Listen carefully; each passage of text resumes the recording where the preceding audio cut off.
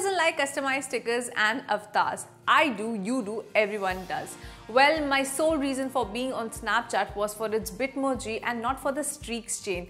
I know I don't sound cool. Anyway, this video is not about Snapchat but Instagram, one of my most used applications. So now on Instagram, you can create your own avatars which you can share on your stories, on your DMs.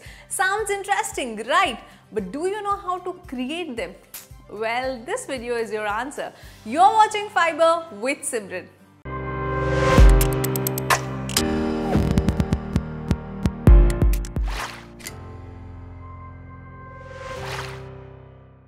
Let's get into the steps directly. So open your Instagram profile from the bottom navigation bar and click on the hamburger menu which is given on the top right corner of your screen.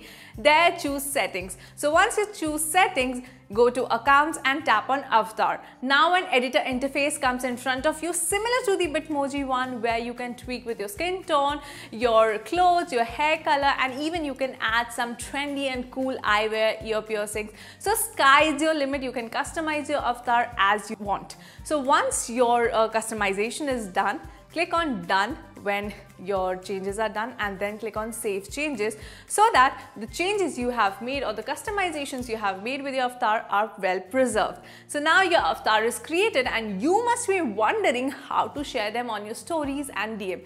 It's very simple. All you have to do is Open your Instagram story interface and on the top right corner click on stickers. Once you click on stickers, tap on avatar.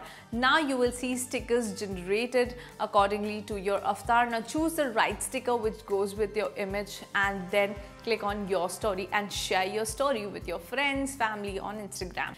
In order to send your avatars in chats or in DMs, I mean direct message, all you have to do is open the chat window and below you will see the plus sign where you type your message. Now click on the plus sign and choose avatar and choose the stickers which are again generated accordingly to your avatar.